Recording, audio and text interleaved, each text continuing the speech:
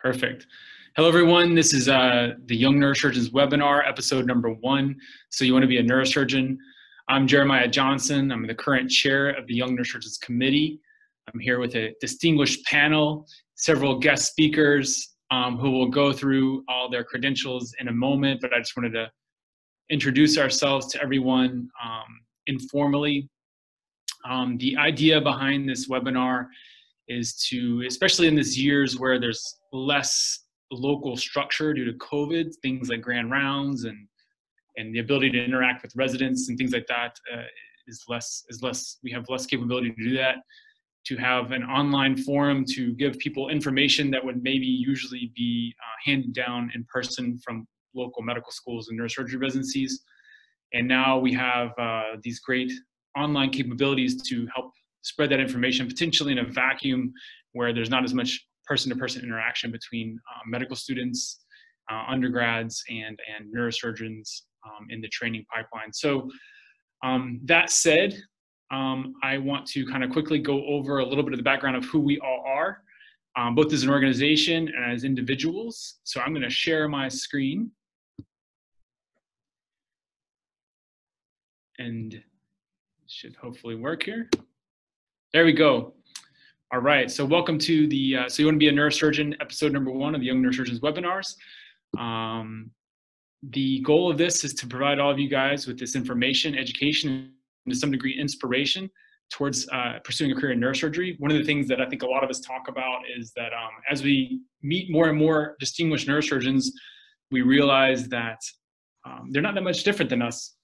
And so it kind of demystifies a little bit this, this big gap you have with these majestic names that you've heard for your, your whole training are this this is unachievable for you. So we're hoping in a similar way that if you guys kind of hear our stories and how we got through um, from from you know babies in the academic sense through the neurosurgery um, pipeline into where we are today that maybe that'll be inspirational to you. Um, these are some things we're basically going to cover today what is neurosurgery what do we do length of training subspecialties what are the residency programs? Where are they? How many of them are there? Um, what do you have to do to get board certified? What kind of jobs do you have when you graduate? What are the characteristics of a future neurosurgeon that we're looking for when we're looking for trainees? And then how did we get there so that you maybe know how you might be able to get there? Before I get too much further, I wanted to say that this is the first in a series of these talks. Um, and the first few webinars are focused on medical students and how that you can go from an interest to actually matching in neurosurgery. So episode number two will be next Thursday, October 8th. Dr. Wolfe, who uh, has a particular expertise in these matters um, due to her both pr- program director status uh, in her residency program, as well as the chair of the senior society. She doesn't look like she's a senior. She's invited into the senior society. Um, so the group that controls a lot of these decisions. Um, she's the, in charge of the medical student committee of the senior society. So she has great insight into these issues and we're happy she's joining us next week. Don't forget to register. We'll try and put um, all the registration information on our social media so you can follow us there. I believe Anna, who I'll introduce here in a moment, is also going to put it in the Q&A section of the webinar. And um, that way you can click and register for next week's episode uh, sooner than later. Uh, so follow us on social media for updates and all these things. We're hoping that these recordings will be, be uploaded on YouTube, the NREF's YouTube page, which we will also link to on our social media for watching later or sharing with others who may benefit from this information. Um, so just to give you a background, if you're un unfamiliar, many of you may be familiar, but if you're not, what is the AANS? It's the American Association of Neuro Neurological Surgeons It was founded in 1931 by who everyone pretty much uniformly considers the father of neurosurgery, Harvey Cushing. Um, it's a scientific and educational association. It has about more than 10,000 members worldwide. Um, it also has the general, um, has many, many, many, many hats it wears and things that it does, but in general, it guides the field of neurosurgery and kind of directs where we go as a field. It includes education, uh, which is a big emphasis, advocacy, and promoting the highest quality of patient care amongst neurosurgeons. Um, what is the Young Neurosurgeons Committee? So we are a committee of the AANS that is focused on providing um, representation for young neurosurgeons into the AANS and um, being able to speak to their leadership about concerns of young neurosurgeons. Young neurosurgeons are medical students that are interested in neurosurgery, residents that are training, and young attendings within about first five years after training. So one of the things that we do is that we get to interact with um, the senior leadership and the organization in general, and this helps develop future leaders of neurosurgery. And also, like we said, provides a channel for young neurosurgeons to impact the direction of the specialty. What is NREF? NREF sponsors this.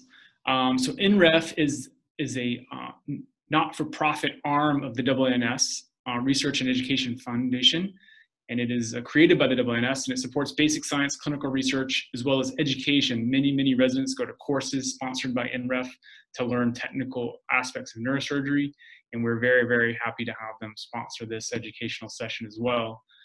Um, today's speakers, by way of introduction, they're here with us. They're going to hear them finally uh, now that I'm done droning along. Um, Miss Dr. Stacey Quintero Wolfe, she's associate professor and radi- residency director of, um, at Wake Forest University, Department of Neurosurgery. She's also director of neurointerventional surgery. Um, and as we mentioned before, she's in the Senior, Senior Neurosurgical Society, uh, the chair of the Medical Student Committee. She's also a prior chair of the Young Neurosurgeons Committee. So I guess she's a chair alumni. You have a lot of titles today, Stacey.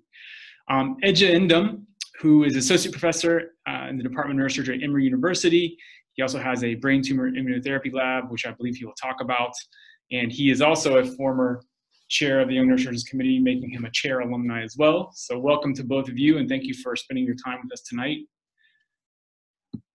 Um, just a quick introduction to some of the panelists. David Dornbos, he's our vice chair of the Young Neurosurgeons Committee. He's interested in endovascular and open cerebrovascular. Um, he's currently at the Semmes Murphey Clinic at University of Texas Health Science Center in Memphis. And Walavan Sivakumar, who's the current secretary of the YNC, who will ascend to become the chair shortly as my time here is nigh. In the spring, he'll be taking over um, as chair.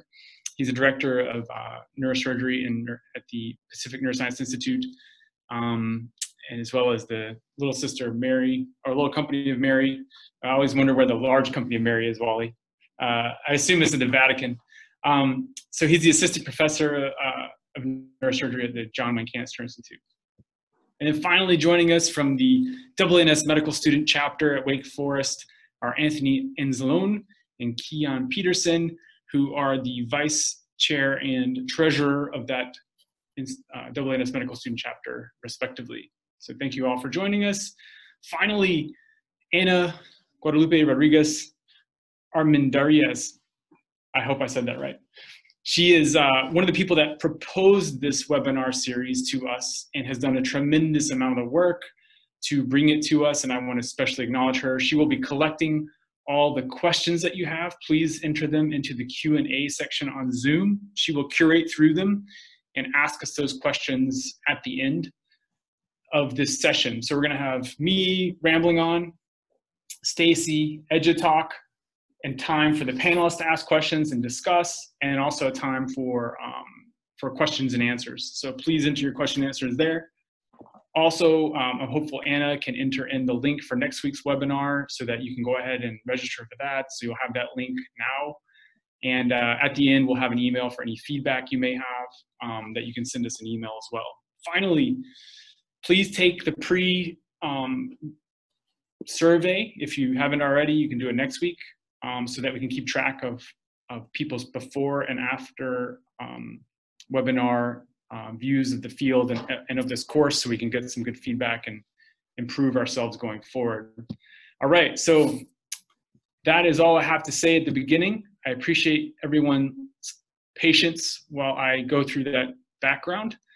Again, um, I want to turn this over to Dr. Stacey Wolfe, who's going to share her screen with us and has going to enlighten us with all about an introduction in neurosurgery. Thank you so much, uh, Dr. Johnson. Um, this has been a amazing journey, and you'll hear a little bit about uh, just the wonderful times that I've had becoming a neurosurgeon. Uh, I am just absolutely thrilled to be able to be here uh, in a, a past past past chair alumni status, uh, but it is it is something that's really neat and very special. Um, and whether you're thinking about neurosurgery and just not sure yet, whether you say neurosurgery is my thing and and I'm uh, going in that way, I think there's definitely something that we can all learn. I had a good time uh, today as I was kind of finalizing some of the talk and, and going through um, my memoirs as a chief resident in Miami everybody kind of gives their uh, a summary of what they did in their seven years. Um, and it was very interesting to see my last slide uh, which are all the things the lessons learned. And i tell you what they really they really haven't changed. They're all still things that i'm striving to do. Um, but uh, as as way of background you know neurosurgery is a pretty small specialty. Uh, and you'll see that there's about 4,000 neurosurgeons in the US, and we all have our pedigrees, if you will, but um, really we're a pretty significant family. And so, you know, for me, it was really special. I was able to train under Dr. Roberto Heros uh, as my program director in Miami. And he's actually uh, one of the people that got the young neurosurgeons started off uh, back in the day. Um, you know, and I was able to then, you know, ascend and learn uh, through the leadership of the young neurosurgeons. Um, and it was pretty exciting to see my junior resident, Jeremiah, um, who I got to uh, work with as a medical student. You'll see a picture of that. Uh, but uh, to see him now ascending through the young neurosurgeons, and sooner or later he's going to be an old neurosurgeon. So very, very exciting stuff. So I'll point that out again. Yeah. Speaking of uh, history, uh, as Jeremiah knows, is very important that we know our history, where we're coming from. Um, and whether this is something that you've never really thought about neurosurgery, you want to know a little bit more. And certainly, if you're somebody who wants to do neurosurgery, you have to have an understanding of where it is that we're coming from. So don't worry, we're not going to spend a ton of time here, but just kind of really a brief overview of where neurosurgery has come from. Uh, you know, so 10,000 years ago, we're drilling holes in people's skull. Uh, and then not that long ago, you know, Galen, uh, obviously a great anatomist uh, with all of this, but he was doing trephination for hydrocephalus. Um, you know, we then slowly but surely, most people have heard of shunts, right? And shunts actually started by putting horsehair into the ventricle and then just creating a fistula that it could keep leaking out. Uh, so we have come a large way, and there's still a large way for us to go. Um, but these are some of the names that you might uh, hear and that you should know. I was just talking about Sir Victor Horsley today as we were using some bone wax in the OR. Um, Harvey Cushing, of course. So Harvey Cushing, uh, you know, is over. Can you see my mouse? I don't know. You can. Oh, great. So Harvey Cushing is over here. This is Sir Victor Horsley. And then, of course, Dandy, uh, you know, and Dandy was uh, Cushing's student um, and really uh, detailed very nicely for us. CSF came up with pneumoencephalography, um, did the first aneurysm clipping. So, of course, near and dear to my heart uh, as a cerebrovascular surgeon. And then Wilder Penfield, of course, bringing us into kind of modern day uh, neurosurgery, uh, describing the homunculus and really modern epilepsy surgery. So these are some of the names uh, and the, the giants whose shoulders that we stand on. So who can be a neurosurgeon? Um, you, you can be a neurosurgeon. Uh, and this is really exciting to be part of this panel. Even when I started neurosurgery, I was the second woman to go through uh, the program. Um, you know, it was a pretty, pretty um, standard group of folks uh, in, in the way that people looked. And I think it's really exciting and important that we are starting to look like the patients that we serve. We still have a long way to go, there's no question about that. But I think the AANS and the young neurosurgeons have really been dedicated to growing diversity. Um, you know, and in the time that I've been doing this, we've gone from 4% of, uh, you know, women to 10% of women neurosurgeons. The trainees have uh, doubled, over doubled since I've been uh, at this. Um, you know, and we have a great group of people who are coming up who are just not all white men. And we that is a very important demographic there's no question. Uh, but again we want to look like the patients that we serve and, and we're getting there. So this is my department at wake forest. Uh, very proud of all of these uh, guys and gals so what do neurosurgeons do? Uh, we do all the things. And, you know, I think over, over here uh, on the left side of the screen, you're a physician, you're a surgeon, you're a teacher, uh, and you're an innovator. And whether that is bench research, whether that's clinical trials, patents, uh, you know, you do a little bit of all of this. And, and there's really such emphasis on, on teaching and innovator. And through all of that, you're a leader. Um, and so this is a picture of my uh, group. I think Keyan's actually in here uh, as we were making videos for the medical student boot camp uh, on how to position patients. Um, this is kind of, this is a day in the life of me. I've got a little rat work going on. We have some cells and I coil an aneurysm, you know, and so it really is, it's a fun specialty because you do get to do everything. Um, and then here are the subspecialties. Uh, you know, we've got spine, we've got cerebrovascular surgery, and that can look like both open and endovascular or through the vessel surgery. You've got tumors or neuro-oncology, and that, of course, is cranial and spine, uh, and radiosurgery, gamma knife, CyberKnife, these kinds of things. And I feel like daily we're making advances there. There's skull-based surgery, uh, pediatric neurosurgery, of course, and then functional and pain is just a huge field that's opening up with seizure surgery or epilepsy surgery and uh, deep brain stimulation you know, for all kinds of different things. And then, of course, peripheral nerve, right? Neurosurgeons take care of the brain, the spine, and then all of the supporting structures, uh, vessels and um, uh, vessels and bone with that, and then the peripheral nerves. And then neurocritical care is absolutely a, a, a subspecialty for us. So this is a picture montage of what cerebrovascular surgery looks like. In 15 minutes, I clearly cannot go through uh, where I got to where I am, as well as all of the subspecialties but this is just kind of you know some of the things that i get to do. You know you get to clip the aneurysm. You get to go up and coil the aneurysm. We throw in a pipeline device. This is this is a fun that we had. This is long ago a technique that we really don't use that much because we have flow diversion but this is a technique called balloon bounce that when i was a fellow we got to develop and then we were able to illustrate this and get it on a cover of the journal of neurosurgery. You know going going through and doing different uh, approaches for things that are hard to get to. Tumor embolization chemo for retinoblastoma intraarterial chemo and of course you know still being able to, to go ahead and just do a standard carotid endarterectomy. It's, it's fun just a lot of fun stuff. In spinal surgery you've got trauma you've got uh, open surgery for tumor you've got degenerative uh, scoliosis you know you can fix fixing stem to stern. We've got some minimally invasive you know there's again just a little bit of everything neuro-oncology um, you know really so much going on there whether you're talking about you know pituitary adenomas whether you're talking about metastasis whether you're talking about these big gnarly this this is all one one group here you know where we're able to take out this huge tumor. But now we've got uh, you know really exciting things going on with immunotherapy and vaccines. Uh, you know of course here we have to represent uh, radiosurgery. So just so much thing, stuff going on. And then of course over here who doesn't love a laser you know, we've got LITT or equivalent, you know, where we're able to put in small probes and superheat, you know, these tumors and treat things that way. Um, and that can also be used for epilepsy and a variety of different things.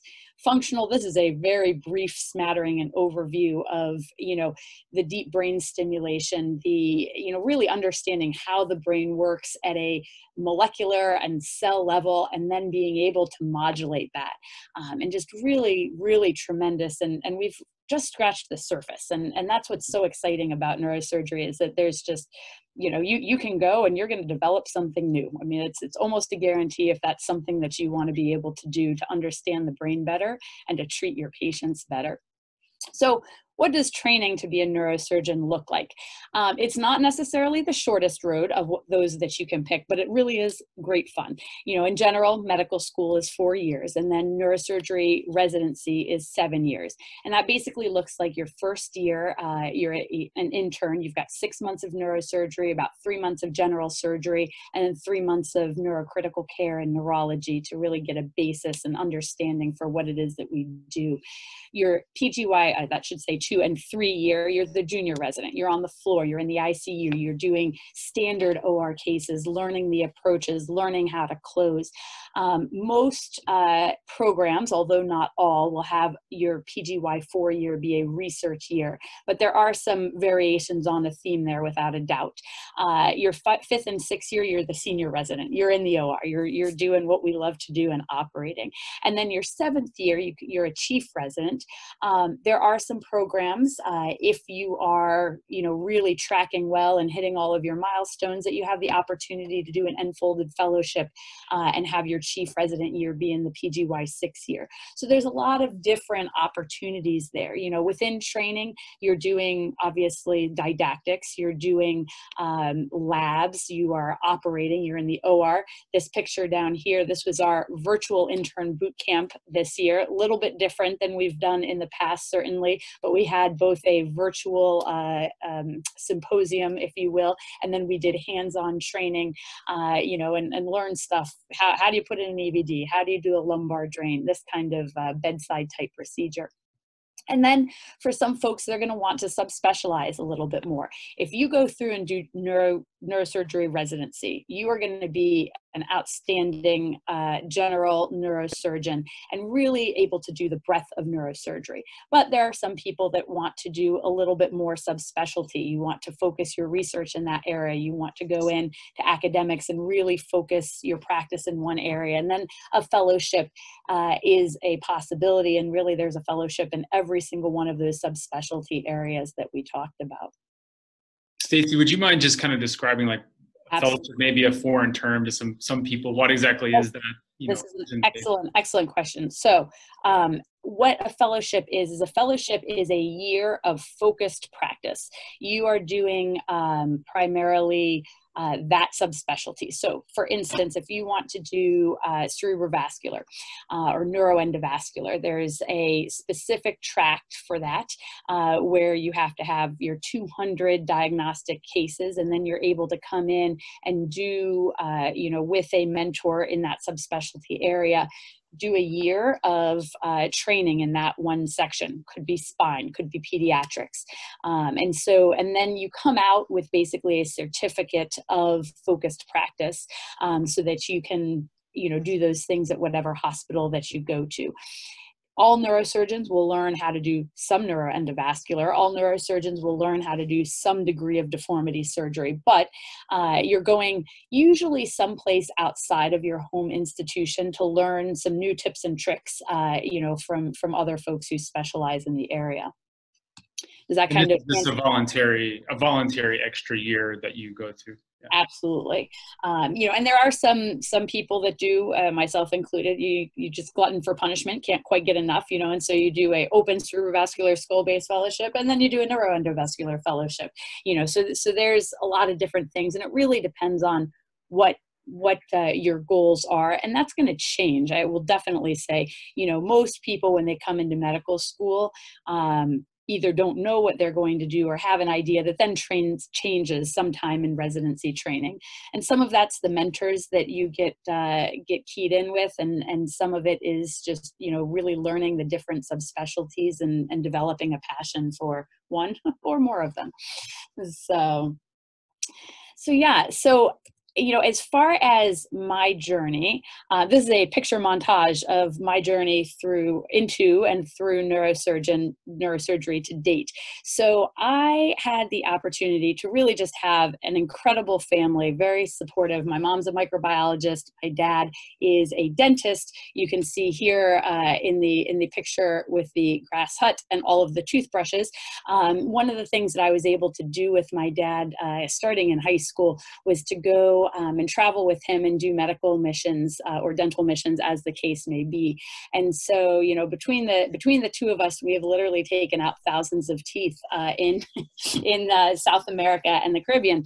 Um, and so, you know, that was something that was really special and, and gave me just a, a passion to to help out folks that just needed needed a little bit of help um, definitely i loved being on the procedural side of things i think you know who should be a neurosurgeon? People that have intellectual curiosity uh, people that have um, you know tenacity a pa- an, an, initiative and a passion to learn and to push and to grow. Um, you definitely have to be a little bit of a self-starter. That really is very helpful. Um, you know and then just really wanting to pursue excellence, uh, you know, in, in all aspects of what it is that you're doing. Um, and so that gave me a little bit of a, a, taste of this. And, you know, then I was able to, um, I was a Navy kid. My dad was in the Navy, so we lived all over the place. Um, and I was able to go to the University of Missouri at Kansas City, the only NCAA marsupial mascot. Uh, so go Roos. Um, but it was a six year program that really gave me that hands-on training, uh, you know, early on, and did allow me to do a lot of the medical missions work. So then I went to, um, I was in the Navy at the time. I did my internship in San Diego um, and was fortunate enough to match uh, with Miami. And Dr. Heros, that you can see here, you know, was my program direct, director and my mentor, um, as well as Dr. Green and Dr. Morcos, you know, just so many mentors, uh, you know, that were, that took the time to invest in me. And that's something that, uh, you know, I'll always try to do, um, you know, for, for my mentees. Um, but uh, that was really an eye-opening experience. Dr. Heros built what he called the band of brothers. Now we have bands of brothers and sisters. Um, but that was something that was really important, that we were very close with our, um, our resident, our fellow residents and, and colleagues, uh, you know, and you got through things together and they really served as examples. And, you know, you can see here in the middle, this is Dr. Bhatia, um, you know, who unfortunately has passed away. I worked with him a lot in Haiti. Uh, we were able to go down down. And while those cases don't count for your, your case log, um, I learned so much from going down and doing surgery with next to nothing um, and doing all of the jobs. You know, you can see him there mopping the floor. It's something that I, I still do every now and again uh, in my OR at Wake Forest. And it's something that really is, it takes the whole team. Um, as a surgeon, as a neurosurgeon, you're the leader of the team. And that's something that's really stuck with me. Um, but I was able to go down to Haiti uh, three, four different times. Um, you can see me with this, this uh, sweet, sweet little girl. This was a, Dr. Ragam and Dr. Bhatia, you know, really got this going where they saw a need um, and their goal was never to go down and kind of come in as as the saviors it was to create something that you know allowed a mechanism for them to be able to ultimately uh, have somebody down there that is haitian and trained and take care of themselves and they really got me uh, excited about the idea of educating um, you know and so that's something that's really special now that they they have a residency that's uh, you know very closely entwined with the University of Miami you know, and they're training uh, Haitian surgeons to be able to do this amazing work. Um, another thing that I was able to do, I was able after Hurricane Katrina, which is now many years ago, but you'll see in this bottom picture uh, me sweating to death because it's hot. It was hotter than all get out down there. But you'll see this little med student standing behind me with the blonde hair. That was Dr. Johnson.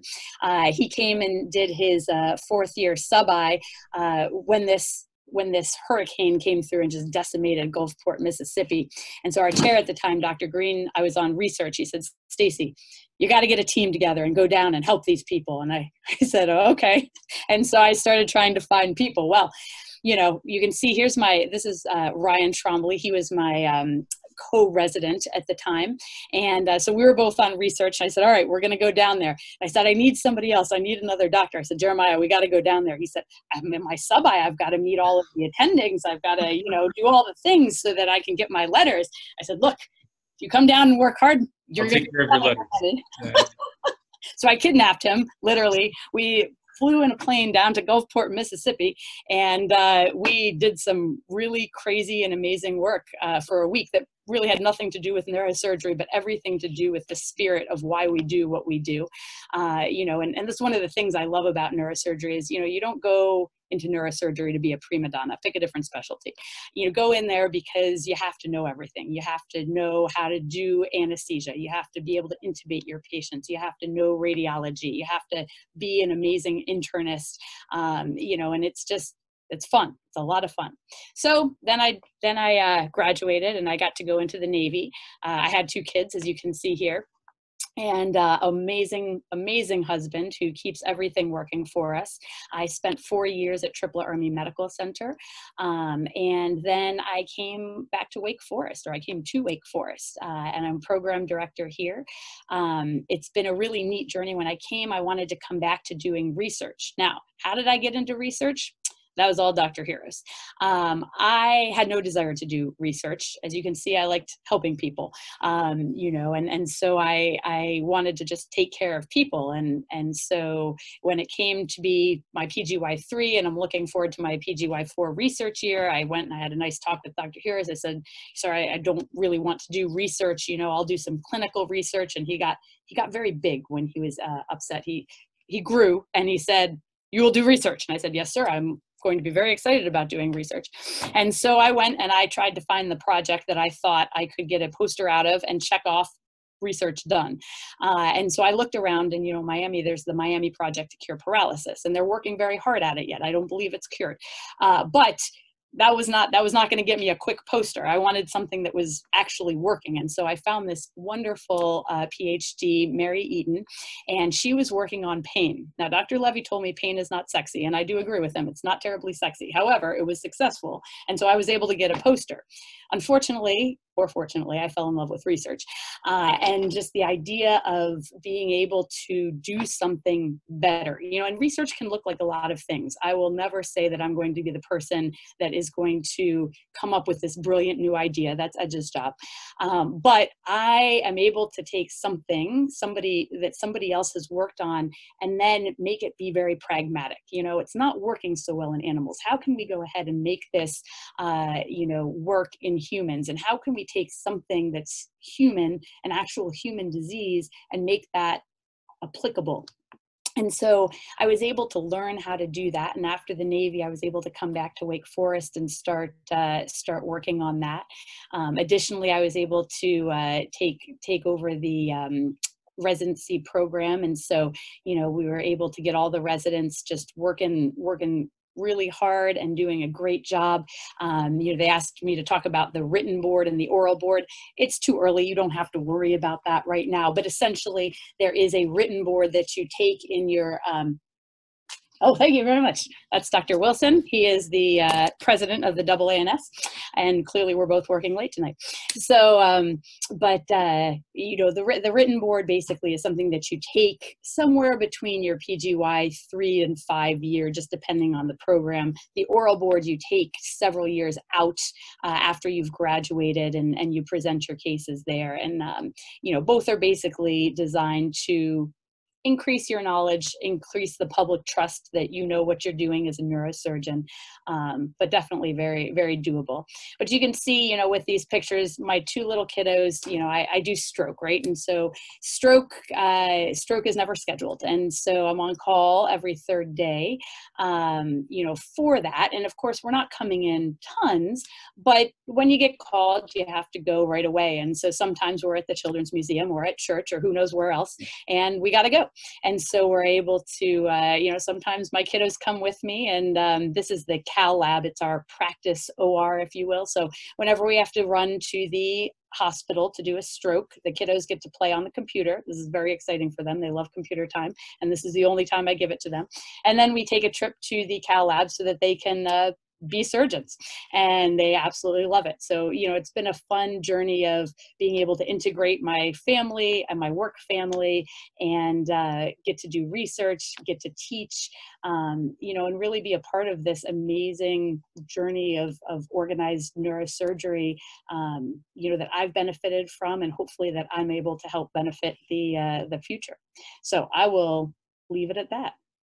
Uh, that's awesome, Stacey. Thank you so much for for all your wonderful experience uh, in describing these these kind of concepts for the for the students. Um, there, there are several questions. I was curious if maybe we could just pop one in because it came up a couple times. Is more or less how do you balance so much um, OR, uh, you know, being a program director, uh, a lab, a social and family life. I mean, how how does that look for you? Anthony and Keyan will tell you not well.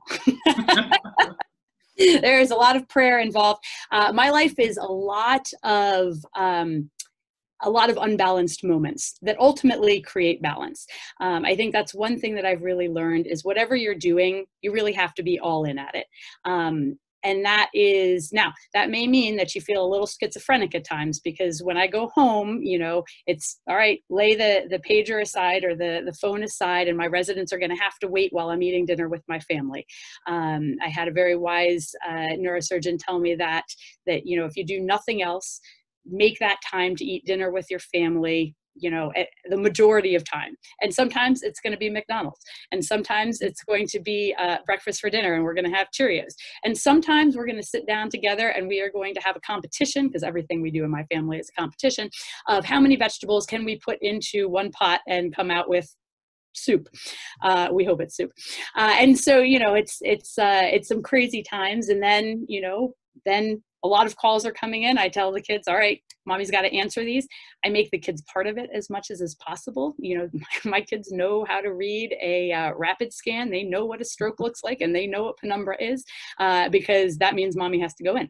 Uh, you know, and um, I've definitely learned how to delegate. I'm still working on it, but I have gotten much better at it again anthony and keyan can definitely attest to that. Uh, you know but it's one of these things that you know share your knowledge with other people who are very capable around you and give them the opportunity to shine right? If i do everything myself you know maybe i look good but i haven't i haven't raised all of the people around me. Um, you know it does mean that you have to be uh, available right? Because you can't just you're not dumping things on people you're you're delegating you're helping them you're helping them to grow. Uh, you have to be accessible. When they have questions and say uh, dr wolfe i'm not really sure what you want me to do here but um and it's a team effort. That that idea of band of brothers and sisters that is a very real thing.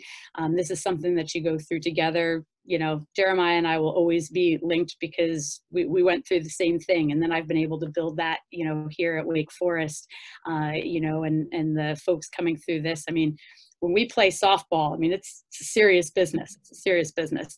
And, um, you know, when we started this softball team, we, we went around and we said, all right, what's your experience? We had one kid who got kicked off his little league softball team. His dad was the coach. Uh, the person with the most experience, she had played softball in uh, college. And so, you know, but we all learned this together and, and we just, you know, you're you're in it you have a good time with what you're doing you're passionate about it um, and you enjoy it and so my best advice to anyone who's not sure about neurosurgery talk yourself out of it for six months uh, and if you can't talk yourself out of it neurosurgery is the, the thing for you.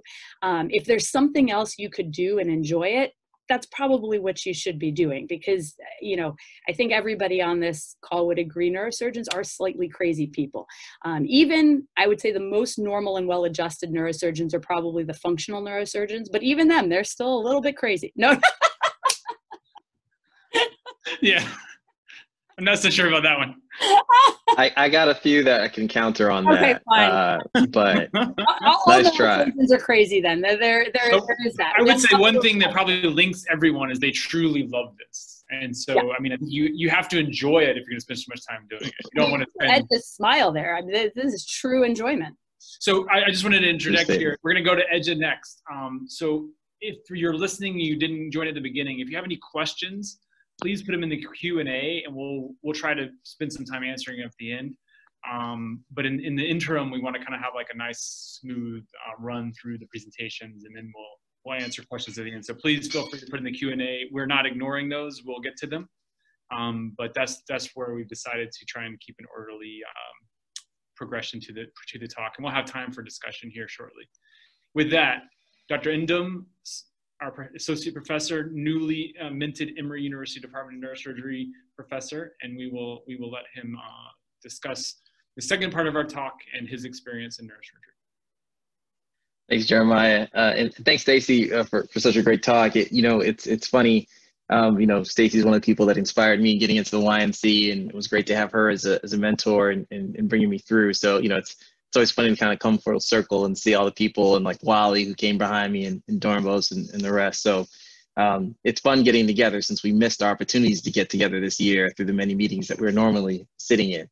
Um, so you you're stuck listening to me for a little bit, uh, learning about um, you know why you might want to be a neurosurgeon. I'm going to fly a little bit uh, so we can get to some of those great questions we, we saw in the chat. Um, so without further ado, this is my outline. Who should consider a career in neurosurgery? Character traits of a good neurosurgical trainee. Some stuff that you know uh, Dr. Wolfe kind of went over as well, but some things bear repeating. And I'm going to talk a little bit about the different jobs uh, that some neurosurgeons have and how they might vary um, and then a little bit about my path. Um, so the first part, um, who should consider a career in, in, in neurosurgery? Um, there's actually a, a great um, uh, video, comedy video about it's not uh, brain surgery that you should look up if you haven't seen it yet. It's kind of made the rounds in most neurosurgery circles, but um, in any case, not rocket science, just brain surgery. So who should consider it? Everyone. Everyone should consider it. and, and here's why. Um, you know, at Columbia University School of Medicine, at one point they had a, and I think they, they still do, everybody rotated through neurosurgery in the medical school. And so everybody had to spend like a few weeks in their required rotations with in, in part of their surgery rotation. And they would send the most medical students um, into neurosurgery at the end of the day, just for the fact that everybody got to see it, right? And neurosurgery, honestly, is so cool that everybody should see it at least once. And you might see it and be like, that was cool one time, and that's not for me. You know, they wake up early, stay late, whatever. But try it out, get some exposure. If after that exposure and seeing these lifestyles and hearing uh, Dr. Wolfe talk about eating McDonald's with their kids and knowing that my kids are eating dinner right now and I'm having this talk, and you still want to do neurosurgery, then it's for you, but you'll never know if you don't give it a shot. So I, I really do think everyone should, you know, should take the time and really seriously consider a future in neurosurgery because it, it takes all types. Um, it's a very diverse field. Um, Dr. Wolfe was talking about functional neurosurgeons are very different from brain tumor surgeons, are very different from vascular surgeons, which then you have your endovascular and your open vascular, and they're different types of people. And the spine surgeons that are academic are different from the private practice folks. So, you know, it really runs the gamut in the type of people that are in neurosurgery at the end of the day.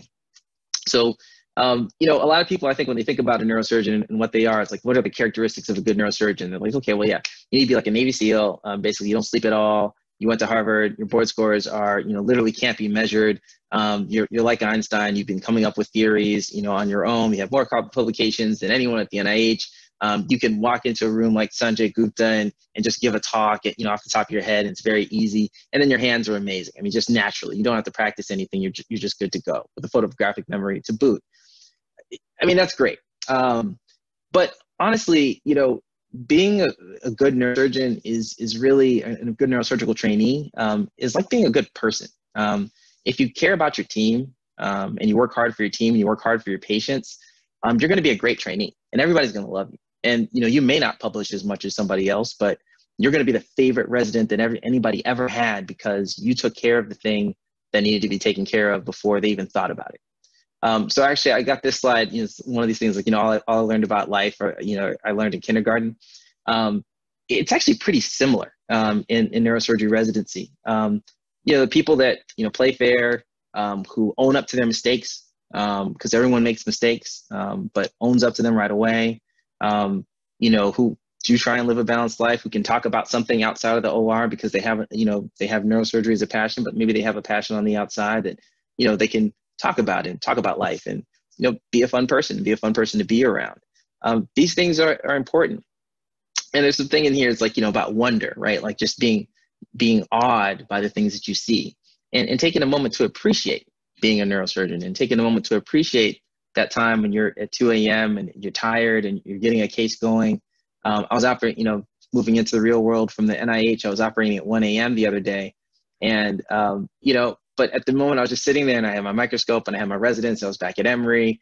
And, uh, you know, I'd always wanted to come back to Emory's faculty. And it's like, it's 1 a.m. and I'm tired and I loved it. And it was just like, wow, it's just so cool that I'm here, you know, handling this very serious problem in this person's brain. Um, that's not an opportunity that a lot of people have. Um, so, you know, this is actually a slide I took directly. I didn't change it at all from what I um, I, I, took to my son's classroom when he was in first grade and did a you know career day. Um, and, and, this is really it. Neurosurgeons are smart. I mean, you, you, have to know things. There's a lot of anatomy and you know just neuroscience that you have to be able to master. So you, you need to feel confident that you can master that. So the confidence is also part of it.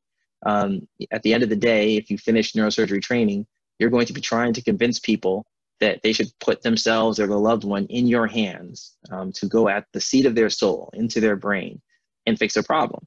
And if you're like, ah, you know, I'm not sure if I'm the right person for this, then there's nothing wrong with choosing something else to do.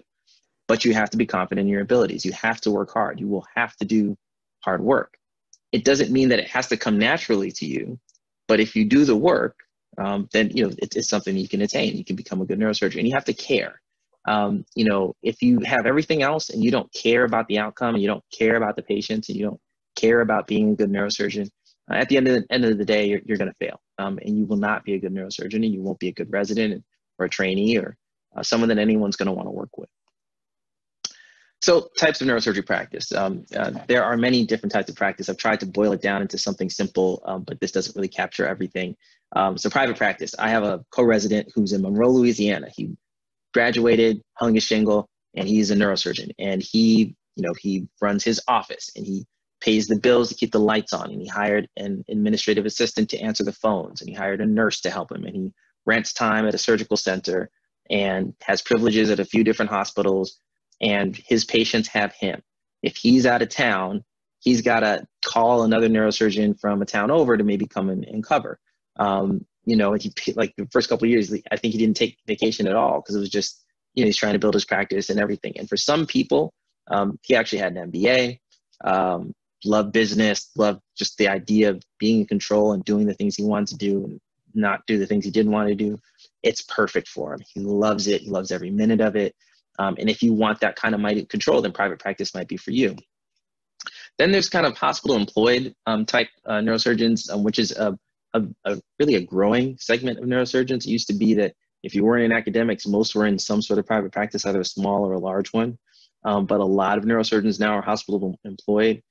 Depending on the hospital employed situation, it could just be you at some hospitals. It could be you in a small group. It could be a large subspecialized practice.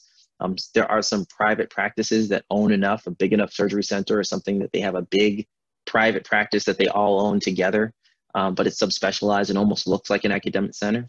Um, if you are actually truly hospital employed, you probably don't have much administrative uh, responsibilities. Someone just gives you a salary. You don't have to count the packages of gauze and that sort of thing.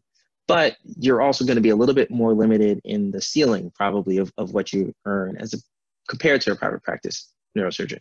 There are no starving neurosurgeons in the United States. However, these are the things that you have to think about. If you you know really want to go and you know spend all your time in the OR in order to get your receipts up, you maybe don't see as much of the return from that as a hospital employed surgeon. You probably have some component of a, a production uh, a bonus, um, but it's not the same as you bill it, you take the money, and if you don't, then you don't.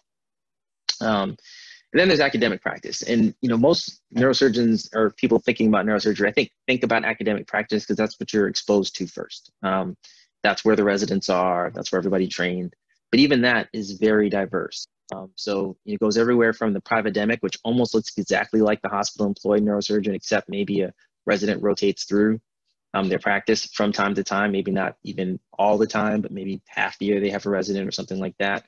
Um, then you have, you know, kind of a clinical academic surgeon, which is probably the most uh, academic surgeons who, um, you know, maybe their scholarship is uh, case studies, there, um, you know, uh, uh, large case series, um, registries, um, coming up with new techniques, uh, putting out videos, teaching residents. Um, most academic neurosurgeons don't actually teach classes, um, but their academic component of being a teacher is teaching the residents and medical students that come through the operating room.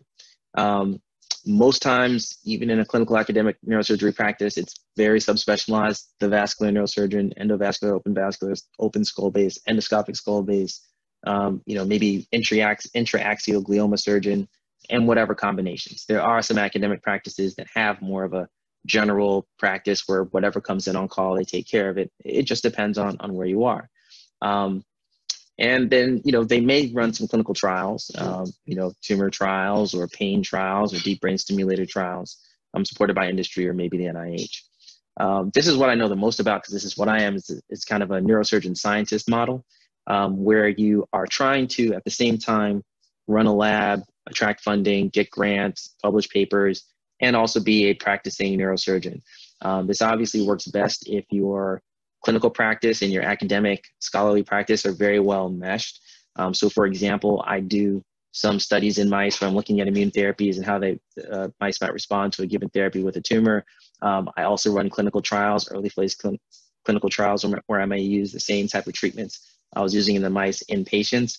And then I might operate on those patients in the clinical trial, which also helps build my clinical practice. And so, and then I might take tissue from that, study that in the lab, and that might give me the idea for the next thing I treat a mouse with. So it kind of goes back and forth. It's very difficult to be a spine surgeon who studies brain tumors. Um, so trying to have some harmonization of that as you go through your training often makes sense.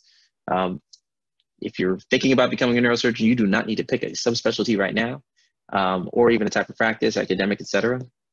But these are the sorts of things um, you know to think about in the future.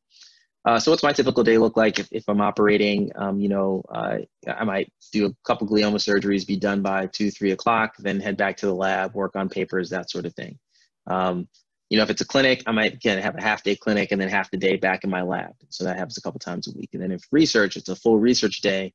Um, it's really a lot of meetings. I'm meeting with my laboratory staff. I'm ordering equipment. I'm writing papers, reading papers, making sure that, that things are going well. Uh, so me and my path. So um, I'm my path is not linear. Um, I was born in Milwaukee, Wisconsin. I was actually raised partially in Accra, Ghana, where my family is from. Um, so that's me um, uh, in the belly there. And so the you know the question we're having is how do you go from there to you know giving talks? You know, being this was me as YNC chair. Um, you know, when I was still a, a wee young neurosurgeon several years ago. Um, so, so my parents, um, you know, again, they came from Ghana. That's the X over here. Moved to Milwaukee. Again, that's that's that's there. My mom came after college. My dad came for college. Um, that's me and my dad, uh, circa 1981. Uh, one of the quotes that, that they have, which I love, um, was "Work smart, not hard." Um, the idea of that is not that you shouldn't work hard, right? Um, but that you should use your energy wisely. time management is incredibly important. Um, and so it's it's kind of like what, what, what, Dr. Wolfe was saying. It's like when you're working intensely on something, you're working intensely on something. You're not watching YouTube videos and studying for your boards. You're studying for your boards, and that's it. And maybe you don't get to watch the NBA playoff game that night because you know there's a couple other things you need to do. Um, but if you do that and you can focus when you need to focus, then you know that that maybe gives you a little bit more time to enjoy yourself when that work is done. Um, so this is my parents' hometown. It's Elmina, Ghana. Um, this is actually Elmina Castle. It's um, one of the oldest uh, freestanding remaining um, slave castles on the west coast of Africa. So my, my, mom lived like kind of right here. You can't see it, but like the house um, that's just down the street from that. This is actually the street my dad grew up in, uh, in Elmina. Um, and so, you know, my dad had a pretty rapid rise and, you know, it's kind of an international businessman and, you know, whatever. So it was a great inspiration for me and just wanting to do better. Um, so from you know the time I was a kid, I knew I had to do something. I, I felt monumentous. You know, my the dad came from absolutely nothing. My parents gave me so much. Um, it was really important that I become successful at something that had um, some use. Uh, so uh, this is what we. I like to think that um, my siblings and I look like. This is me. I'm number two. Um, this is what we were like most of the time. I had two brothers. Um, you know, who were all born within three years, so things got a little bit chaotic. Um, as far as my career, um, I actually read Gifted Hands when I was, uh, it was nine or 10. Um, we're not going to talk politics tonight, but as far as the book, um, what the book gave to me was, uh, you know, it was neurosurgery was this really difficult thing um, where you help people every day. It was a new challenge every day. It was very technically challenging. You work with your hands. And I was like, this is it. Love it. Okay. Boom. From the time I was like 10 o'clock, 10 years old on, I'm telling everybody I'm going to be a neurosurgeon. Um, and I was just thinking about clinical stuff, not really thinking about research. So when I was 11, moved back to Ghana. I was a bit of a culture shock. Um, you know, it's one TV channel, no malls. Um, but, you know, ended up having a good time. Um, lived there for six years. Um, then spent one year in boarding school in Connecticut. Um, didn't love that. Uh, and decided to go as far away from New England as possible. and so, you know, I didn't use my summers in the absolute best way possible in, in high school and going in, applied to NIH, didn't really get it, just kind of made a little bit of money on the side. Uh, but then I got into Stanford. And that was where I, I first um, started to look at um, research. Um, so my first real research opportunity was between my freshman and sophomore year of college. There was a thing called sophomore college. It was a three-week program um, was on brain development. I loved it. Um, we were going through all the seminal experiments in neuroscience. And even though the professor did not typically take anyone but juniors who were doing about to do honors into her lab, I just asked her, I was like, hey, love this class. You know, um, would you take me as a, as a research assistant? And she did. Um, when it ended up going from there to the University of Pennsylvania for uh, medical school, this is me actually uh, lobbying City Hall to ban smoking indoors with the presidents of the med schools of uh, the other Philadelphia uh, medical schools at the time. Um, so got involved in leadership um, pretty early. Uh, this is us at an SNMA conference, uh, so I had time to go conferences and meet people back then when you could meet people in real life. And this is actually Dr. Carson signing my my Gifted Hands book back in 2004 um, and uh, his politics were the same back then. So um, in Accra, actually in my uh, my third, year, no, fourth year medical school, I was actually able to go back to my parents' hometown uh, and practice neurosurgery in Accra, Ghana, in the capital city, um, actually in my parents' hometown. Um, similar to, to Dr. Wolfe, um, you know, it was really a, an eye-opening experience, just kind of seeing what they were able, able to accomplish with so little. Um, and it's just one of the things that that um, has kept me grateful for the opportunities and the equipment and everything I have uh, uh, here in the US. So back to research. Medical school did one summer of research after MS1. Not too productive. It's hard to be productive in, in eight months, but did a project in my third year um, where I was able to present an abstract to the CNS. Um, and that was really the only thing, you know, published wise on my CV at that time. But the arms race in neurosurgery right now, I know it's a lot more publications that most medical students uh, come out with, but that was enough to whet my appetite for research and residency applied to 33 programs, interviewed at 13, uh, and you know, thankfully uh, managed to match at, at Emory University, uh, where again I'm, I'm, now back at, at um, uh, as faculty. Now residency, I alluded to this a little bit earlier. Um, you know, I had a rough start in residency. I'm, i made mistakes. Um, you know, I was a new kid coming in. The two other, my two co-residents um, actually had done rotations at Emory, so they kind of knew them, and I was this unknown quantity. Um, but everyone knew I worked hard. Everyone knew I really, really cared about what happened to the patients what happened for the team. Um, and that reputation for honesty and you know being a hard worker and being someone they could rely upon uh, carried me well. The trophy I actually showed was a trophy that it was just kind of extra thing they did uh, at our graduation for myself and my my co-chiefs um, because of how well the service had run. And it was just you know they knew if if they gave any of us a task, it was going to be taken care of. Um, research during residency, like Dr. Wolfe said, I, you know, I had a fourth year residency I took some time with. Um, I applied for a CNS fellowship. I was actually going to go to France. I had this whole plan. My wife and I were going to move to France and live there for six months and study endoscopic uh, surgery, and I didn't get it. So I ended up going to the NIH instead and spent eight months there. I published two first author papers and a third paper as well. Really got bitten by the research bug then, decided at that point, after having that success, I wanted to run a lab um, applied to uh, neurosurgical oncology fellowships um, at MSK and MD Anderson. Ended up choosing to do a two-year fellowship at MD Anderson so I could have an additional year to do research. Um, and from there, was able to um, go back to the NIH's faculty. So there was someone who asked about getting a PhD in the chat, and I answered in the chat, but um, you don't have to get a PhD uh, to be a neurosurgeon. You don't have to get a PhD to be a neurosurgeon scientist, as I am. Um, a PhD does help. If you have a passion for something research wise at the time you're applying to medical school, then go for it. Um, you should do it. Um, you should not do it because you think it's the only way to do research at the end of residency. If you don't have a particular passion for studying something at that time that you're in medical school, don't do it. Um, the research you do as an MD PhD will be at least seven years old uh, when you finish residency. So you will have to do some meaningful research in residency regardless. Doing a PhD will set you up to where you're going to know a lot of techniques, and then that time you go into the lab, it might be a lot easier to get some research going. But again, a lot of different ways to do it um, if you don't do that. So again, uh, did some uh, some presentations at MD Anderson. Um, these are kind of the major areas of my research. I don't want to spend too much time here. Um, work on immune therapy for glioblastoma, as I mentioned. Um, and this is, I'll just talk really briefly on this clinical trial I'm doing the general idea is we want to figure out how immune therapeutics given systematically, uh, systemically are, um, are, are working in the brain. So we do a biopsy on these patients um, when they get enrolled. These are recurrent glioblastoma patients that we know we're going to do a resection on. We do a biopsy up front, confirm they have a recurrence. place these microdialysis catheters in that allow us to measure cytokines, which is how the immune system communicates, right? Um, give one dose of immune therapeutic, um, and then take the tumor out. Um, and so in that way, we have tissue from before and afterwards. We have these cytokine measurements during, and we're able to kind of see how, how these patients respond. Uh, work-life balance, Dr. Wolfe talked about it, um, that, you know, you could do an hour-long talk just on that. I try to do other things. Uh, there are other things I'm passionate about. I try to cut down D time. Um, I, you know, I haven't seen a lot of the hit shows that are out right now that I really want to see that normal, you know, undergrad me would have watched because, you know, that's D time. It's just not that important. The things that are important are going on a bike ride with my kids, um, getting to my son's soccer game, um, you know, watching my, my daughter uh, dance recital, uh, things like that, things that are going to form memories that they're going to, to remember.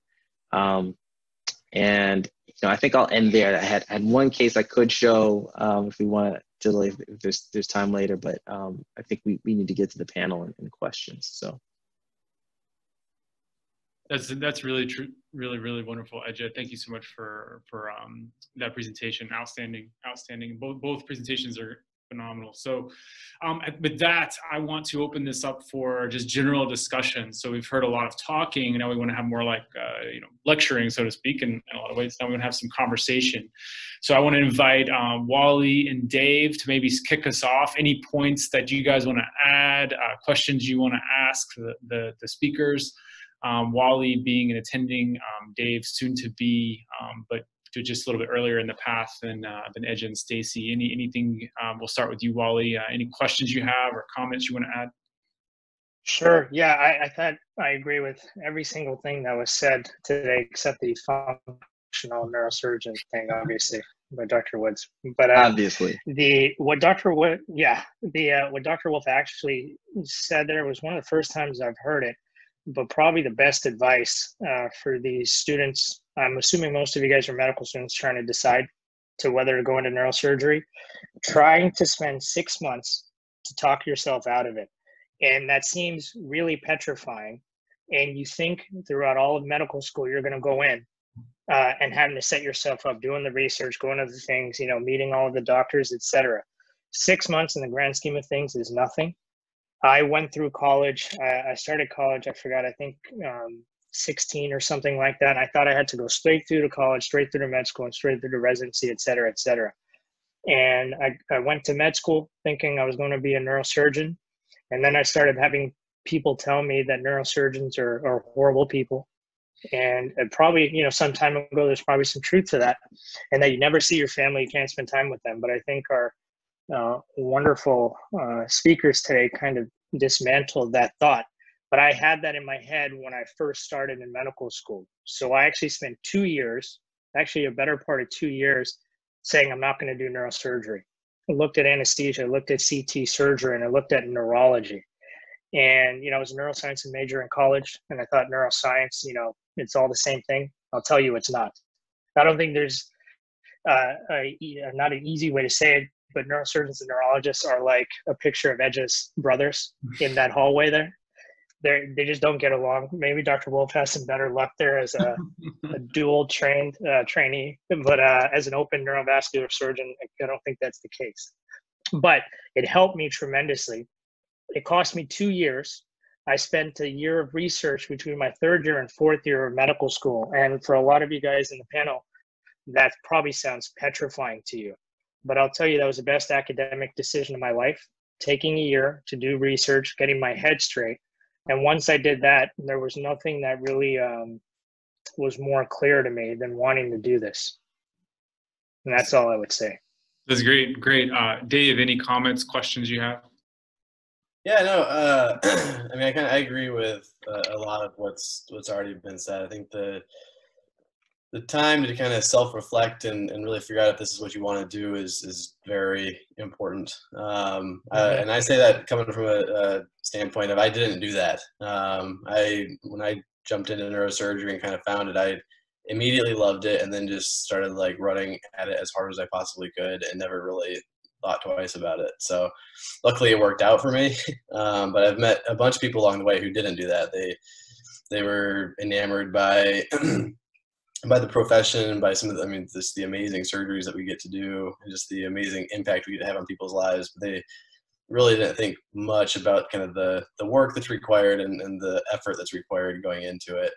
Um, so that's that's very important. And I really liked what Stacey said. It's something I always tell all of my uh, mentees, but just live in the moment. I mean, you're working really hard. You obviously want to keep your work-life balance appropriate, but you've got research stuff. You've got a bunch of clinical, obviously, responsibilities. Um, you've got people in organized neurosurgery that are, are calling you or texting you or emailing you and just different tasks to, to go after. And it really, I really like the, the comment to just live just full bore on one thing at a time and then just i mean it, gets very schizophrenic i live a very schizophrenic life uh, but yeah it's just you just go at it as hard as you can with whatever you're doing whether it's your family or, or whatever else but um, I guess I have one question for uh, uh, uh, Stacey and Edjah. Oh, I did. I wanted to especially thank Stacey for showing us the picture of little Jeremiah. I greatly appreciated that moment. um, but uh, so as little as Edjah was in that one picture. true, true. Um, or even for any of the other panelists too. Have you guys ever had a period in your medis- medical school training or residency training where you just felt discouraged or burnt out? And what did you guys do? How did you overcome and, and get past that? Yesterday. Yeah. Uh, it's it's definitely before i answer that question i i do want to follow up on um you know how how do you go and figure out or talk yourself out of you know and so i, I do want to clarify that a little bit because for some people you know like wally it's take that year and do research but that doesn't mean you have to do a research year right? For me what it looked like was i did rotation on all of the subspecialties, um, which was one of the best things that I did. And I loved everything except family medicine because they had to send their patients to somebody else. Like they didn't couldn't take care of anybody, uh, not because they weren't capable, but it just wasn't a thing. And so, so I said that's that's definitely not for me. But you know, I loved ortho and I loved uh, plastics and I loved vascular. Um, and and neurosurgery was just all of those things you know put together. So it's gonna that's going to look a little bit different to everybody. Don't feel like you have to do a year of research. But if you want to you know if you have that curiosity it's a great time you know to be able to to look at stuff. Don't feel like you have to fit into a prescribed pattern.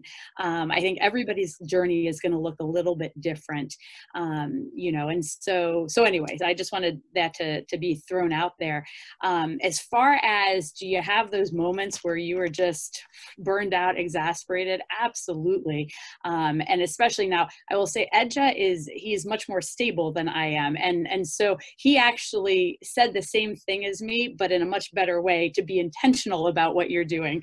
Uh, you know, and so there is there's that that balance between going full bore and, and just being intentional about what you're doing, you probably get less burned out that way. Um, you know, but but it, it is I, here. Let me. I'll, I'll give you a tour of my desk. You see it. It just keeps going, keeps going, and uh, those are all of the things that I'm supposed to have done um, by two weeks ago. And uh, you know, and it's one of these that oh, if, if you sit down and just look at all the things that you haven't done, it's it's staggering, right? We're never going to be able to do all of the things that we want to do because we're that kind of person. You know, you're driven. Um, you know, you say yes to everything. Another very important piece of advice that Shelly Timmons taught me is that you never say no, but you can't say yes to everything. So here's what you do: you say yes.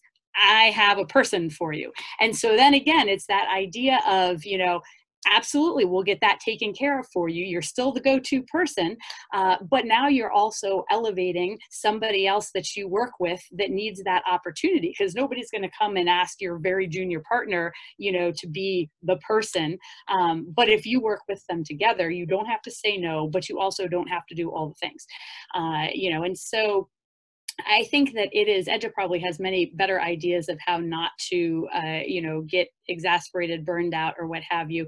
Um, you know, for me, I'm, you know, I'm, I'm a, um, God is very important in my life, and and you, I need that, you know, to know that there's there's somebody who's actually orchestrating all of this, and my job is to do the best that I can at every task that I am given.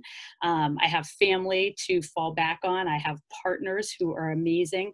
Uh, I have these guys, you know, on the, I just, I got another job uh, the other day and I immediately called Jeremiah and said, ah, we have to have a meeting about how we're going to do this with NREF, you know, and so that those contacts, um, you're not in this alone. This really is neurosurgery is a team sport. And I think that that is one of the biggest things that helps me to be able to keep going when it gets hard because it does get hard.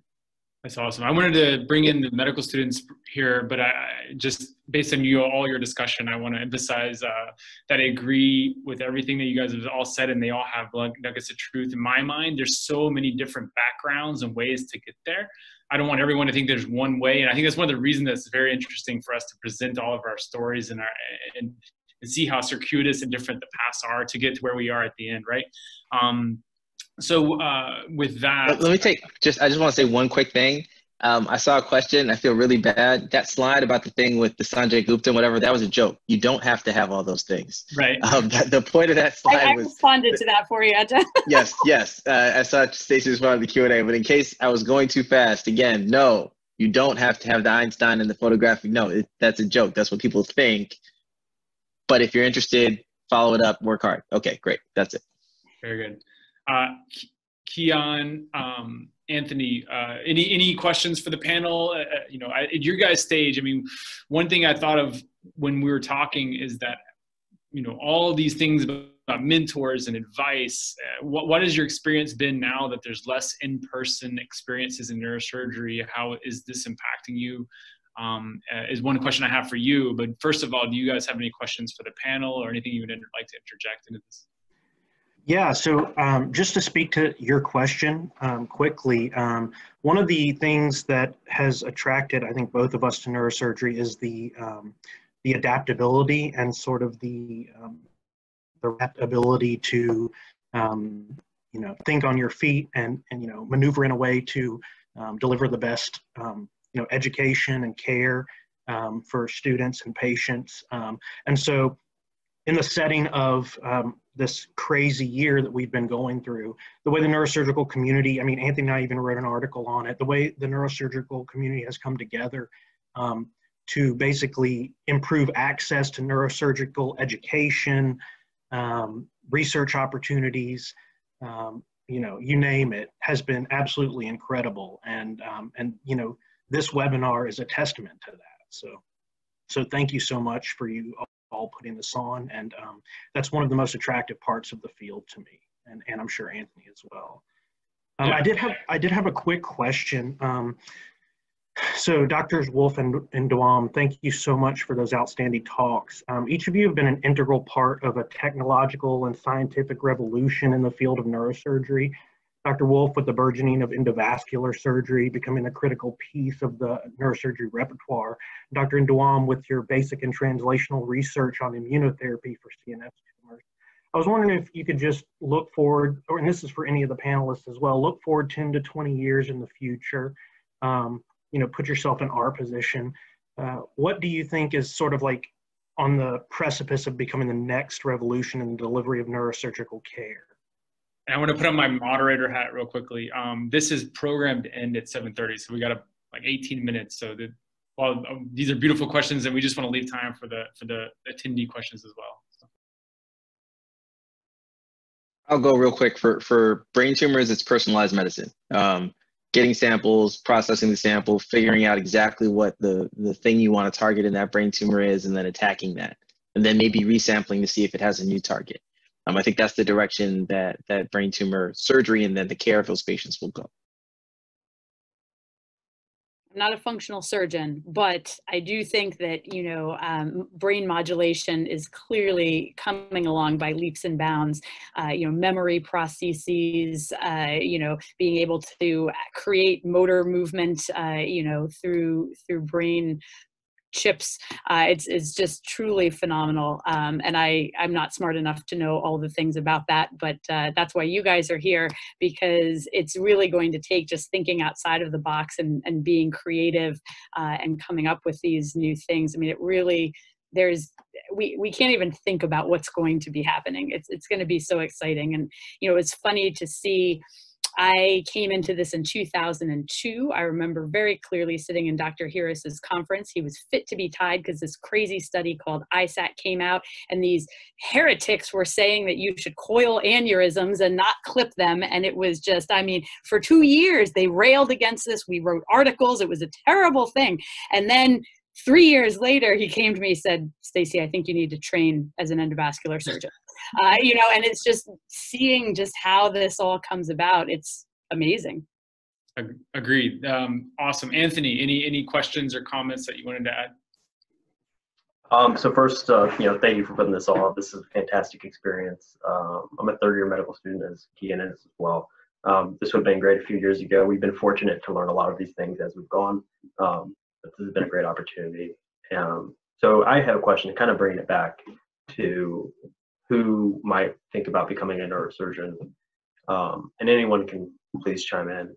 Um, so I think a lot of us here probably are are aware or are becoming more aware that you know neurosurgery, from what I can see, is it really attracts some of the best and brightest students, some of the hardest working students, um, in in most of our medical school classes.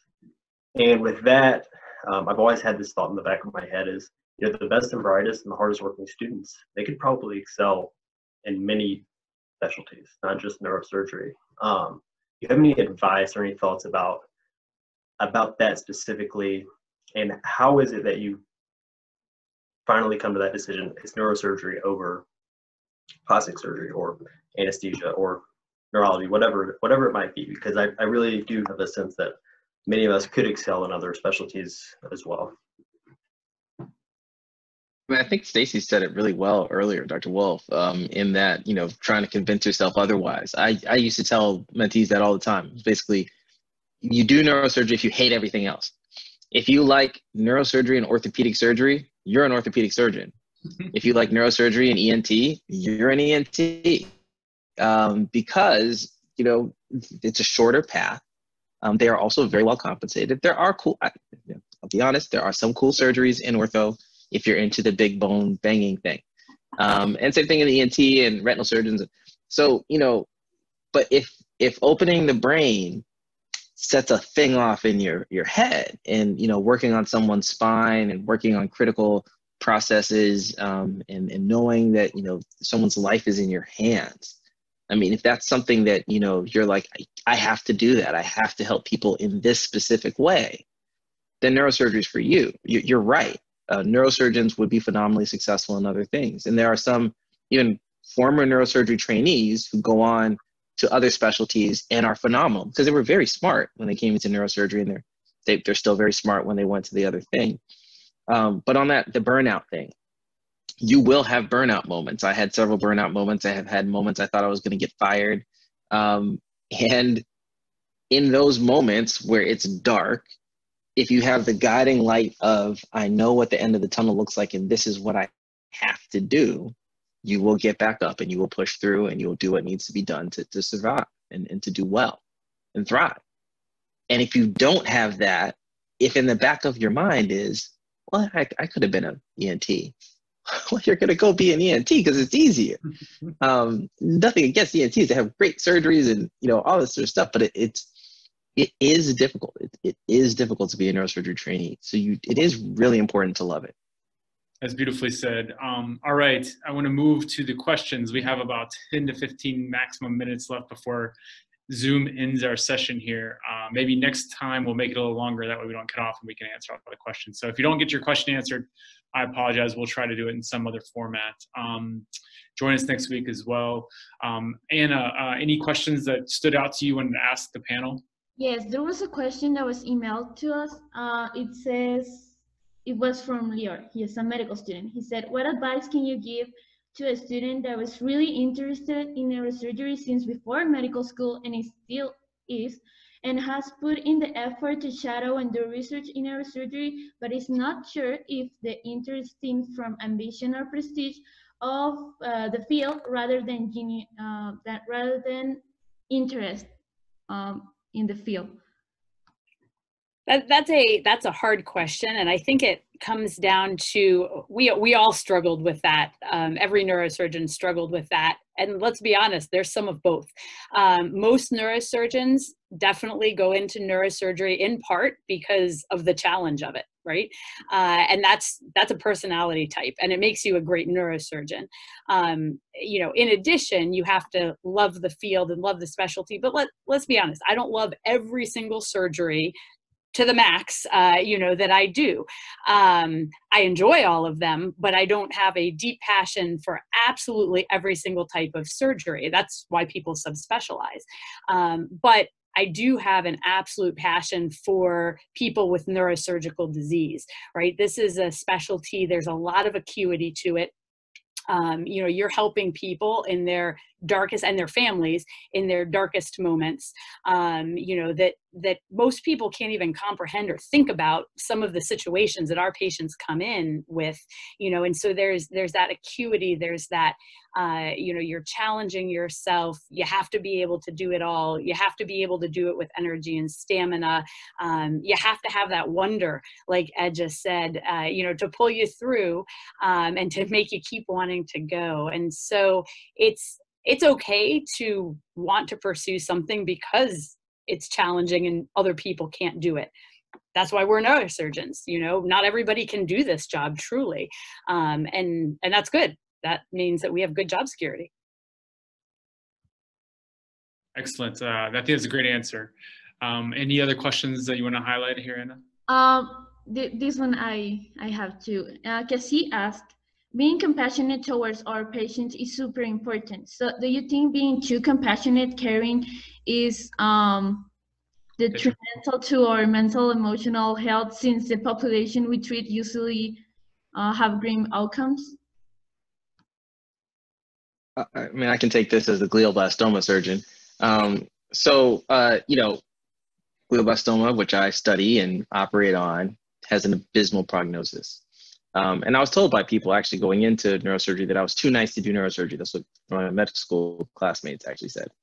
Uh, and I disagree with that. Um, so the job of a, of, a, of a glioma surgeon, a glioblastoma surgeon, in many ways is to be there on the worst day of someone's life or some family's lives um, and be the one that guides them through it in the gentlest way possible um, to get them through the surgery safely, to take as much of the tumor out, to prolong their life, to explain what's going on to them in such a way that it doesn't ruin the rest of everybody's life that that's that's that's um, involved with that. And it's a pretty big job and a big responsibility. And again, some people want to do that, and a lot of people don't want to do that. Um, but you know, it's really important to me and I, I feel very strongly for my patients and I advocate very strongly for my patients and I do research so that I can hopefully change the future for these patients so that I'm not having that same discussion with with patients you know 10 years from now 15 years from now um, but yeah no being compassionate is is a very very strong plus um, you know the the best neurosurgeons that I know families love them um, because of the time they spent with them, because they look them in the eye and they explain what's going on and they put a hand on their knee. Even in COVID times, I put a glove on, I put a hand on their knee and I tell them, you know, we're going to work through this together. We're going to give you the best possible start to treatment for this disease. And, you know, we're going to give you a treatment that's going to help. I can't cure it, um, but, you know, we're going to do our very best and you're going to get the very best possible care that you can get here. And I think patients and families appreciate that. And that's what helps me deal with it. That's a beautiful answer. And I think it also goes back to something Stacey said is we're still doctors.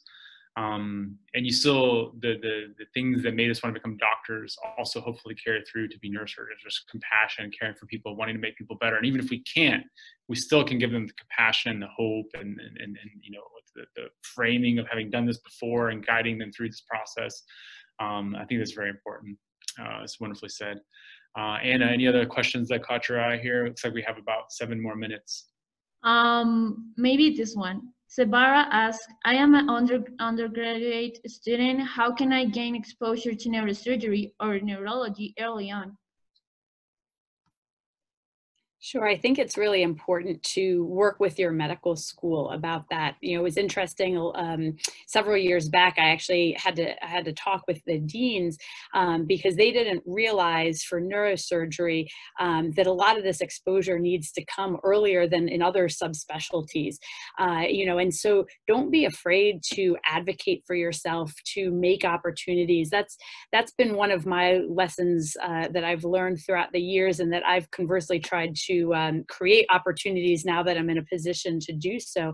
Um, it might, the journey might not always look like exactly what you expected. I think Edjah certainly uh, said that well. Mine certainly did not look, I mean, it, it took so many uh, turns and switchbacks and what have you. But, uh, I, you know, grasp what's there in front of you, you know, and go ahead and go to your neurosurgery department and knock on someone's door or send out an email or you know uh, talk with your dean and say hey i'd really like to do a rotation in neurosciences. Nobody's asking to do a rotation in neurosciences i promise. There's going to be a spot for you uh, you know and so so you just you just have to ask uh, and don't don't be afraid. You can do it in a very respectful uh, manner. Obviously you recognize that neurosurgeons and neuroscientists are busy um, but almost uniformly they want they're teachers at heart um, you know so ask ask the question and I agree, and I think that uh, as well. Uh, the only way you, I've seen several questions like, "How do you know you want to get into this? How do I get exposure?" I really think the way you know if you want to do this or not is to actually get that exposure, which COVID is making harder. But I think you need to spend as much time as you can in neurology and neurosurgery, and integrating yourself into the into the field to understand it and see if you really want to do it. Um, and those that can't live without it, as we've said, that, that's for you. Um, we'll get into a lot more of these types of issues in the next installment, which is um, which is uh, about how to prepare yourself to be competitive to match in neurosurgery. Much more detail about if you're a medical student, how do you, what do you need to have on your CV? What does it look like to match neurosurgery? So that'll be next week. Stacey will be joining us again, along with Ricardo Komotar, who is the program director at University of Miami. And I did have, um, if you guys will indulge me, a few more slides to close because it looks like we have five minutes. I think it may be a little bit short on time to answer too many more questions here before we get cut off. I don't want to get cut off in the middle of a sentence. So let me uh, let me just put a few final slides up here, if you guys will indulge that, and we will close this uh, down. We have an email address here, um, which I will uh, put up again, and is also in the Q and A in the in the chat. Um, that uh, if you have any questions you want to we'll, we'll, try to we'll try to get back to you if you didn't get any of your question answered. I think some of the questions we kind of answered through the discussion. So again next week um, here is uh, our um, our next week's topic please fill out the surveys when you register and you'll get one uh, about three or four or five weeks from now is like a follow-up survey this is very important for us to understand how we're doing what we need to do better um, and also show that what we're doing is worth all this effort for people um, I did want to announce one thing that is very important for our committee, which is a, um, a fund. So NREF, as we said, is like the philanthropic arm of double NS. And uh, one of the things that we want to do as neurosurgeons is give back. Um, so the Young Neurosurgeons Committee has started a fund to honor one of the people that have worked with our committee for over 20 years, who's retiring this year. Her name is Chris Phillips. Um, the we accept donations, but go to a fund account. Um, th- this account then is used after we get a certain amount of money into it to help sponsor more medical student involvement in our committee and national neurosurgery in general. If you're at all interested or know someone that may be interested to donate, um, there's a donation page here, um, which we can also um, put into the chat. Um, something else I wanted to say is that again, if you have more questions and you want some feedback or you want to give feedback about what you want to hear more of, um, what we should do a future topic on, please email us at webinarsync at gmail.com. Um, this recording will be processed and eventually, hopefully not too long, posted on the NREF um, YouTube page um, so that you can share it with other people that may want to see it or watch it again, etc. Um, and again, we will announce when those links come out on our Twitter and Instagram accounts, uh, which you can follow at the handle at Young Neurosurgeons or at Young Neurosurg. Um, so follow us on social media. Um, and thank you very, very much for your attention. I really want to thank all the panelists for coming. This has been, in my opinion, if I was a student, I would be loving all this information and to share your journey and your insights insights and your wisdom. Thank you to the panelists, Wally Kumar, David Dornbos, as well as our two students who asked really excellent questions, Keyan and uh, Anthony. And um, if anybody has any further comments, I'm happy to hear them. But otherwise, thank you all for coming, and we'll see you next week. Thanks for the opportunity. Thanks for putting it together. No, my pleasure. Um, I, there's a lot of other questions, so I, am going to try and answer some of these offline. I'm sorry for that. There were so many we didn't get to, but we just ran out of time today, and I don't want to get cut off. So I appreciate everyone's attention. I'm going to stop my screen share here. And uh, Edjah, Stacey, and the whole team, we will see you guys soon. It's great talking to you again. Really proud of the young neurosurgeons. awesome. Great job, everyone. Thank you. Thank you, guys. Thank you. All right, I'm going to end the meeting. Is that okay, Becky? All right.